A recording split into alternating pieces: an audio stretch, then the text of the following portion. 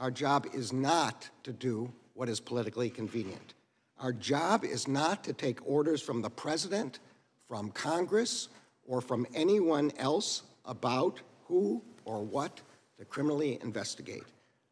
As the President himself has said, and I reaffirm today, I am not the President's lawyer. I will add, I am not Congress's prosecutor. The Justice Department works for the American people. Our job is to follow the facts and the law, and that is what we do.